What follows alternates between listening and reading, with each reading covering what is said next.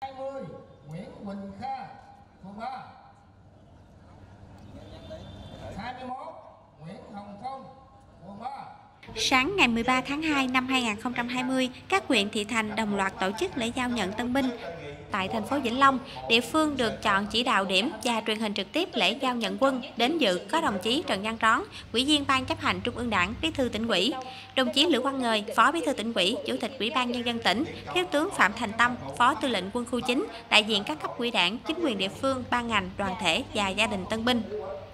Theo Hội đồng Nghĩa vụ quân sự tỉnh, năm 2020, tỉnh Vĩnh Long được chính phủ giao chỉ tiêu tuyển chọn và gọi 1.188 thanh niên nhập ngũ, trong đó quân đội 1.000 chỉ tiêu và công an 188 chỉ tiêu.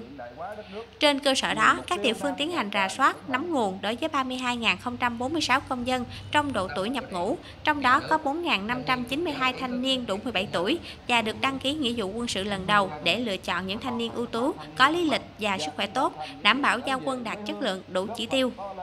Trong số 1.188 tân binh có 5 đảng viên, còn lại là đoàn viên, 172 tân binh có trình độ chuyên môn kỹ thuật. Thực hiện chính sách hậu phương quân đội, mỗi tân binh được nhận một sổ tiết kiệm và nhiều phần quà thiết thực, tổng kinh phí hơn 4,8 tỷ đồng.